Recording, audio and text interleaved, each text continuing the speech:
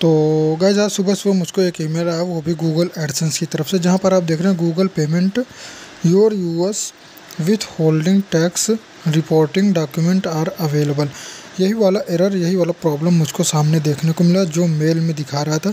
जब मैं अपने जीमेल अकाउंट में जाता हूँ तो वहाँ पर मुझको इस तरीके का नोटिफिकेशन देखने को मिलता, वो भी गूगल एडसेंस गूगल पेमेंट की तरफ़ से।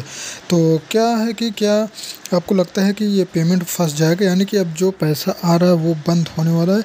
अगर आपको कुछ इस तरीके का एहसास हो रहा है तो आपको इस वीडियो में सारी जानकारी दूँगा। आखिर इस प्रॉब्लम का मतलब क्या है और ये आया क्यों है? तो चलिए बढ़ते हैं वीडियो की तरफ़। तो जैसे कि मैं आपको बता दूँ, जब किसी का चैनल मोनेटाइज होता है अगर आपका चैनल एक दो साल पहले मोनेटाइज हुआ है, उसके बाद आपने वहाँ पर tax info, US tax info का एक फॉर्म ज़रूर सबमिट किया होगा, आपने अपना पैन कार्ड वगैरह वहाँ पर डाला होगा।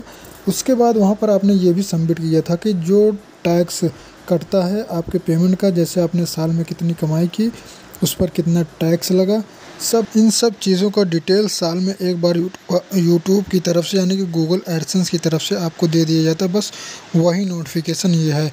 जहाँ पर आप देख रहे हैं गूगल पेमेंट अगर यहाँ पर आप ध्यानपूर्वक पढ़ेंगे तो बताया जा रहा है कि आपका जो पेमेंट है आपने जो साल भर में कमाया, कि उसका एक डॉक्यूमेंट आपके पास अवेलेबल है। और यहाँ पर आप स्क्रॉल करके नीचे की तरफ़ आएँगे टैक्स इन्फो का ऑप्शन मिलेगा। आप उस पर क्लिक करेंगे तो आपकी सारी जानकारी यहाँ पर देखने को मिल जाएगी। आपने साल भर में कितनी कमाई की, कितना टैक्स लगा, कितना पैसा कटा, कितना कितना पैसा है, सब कुछ आपको जानकारी यहाँ पर देखने को मिल जाएगी।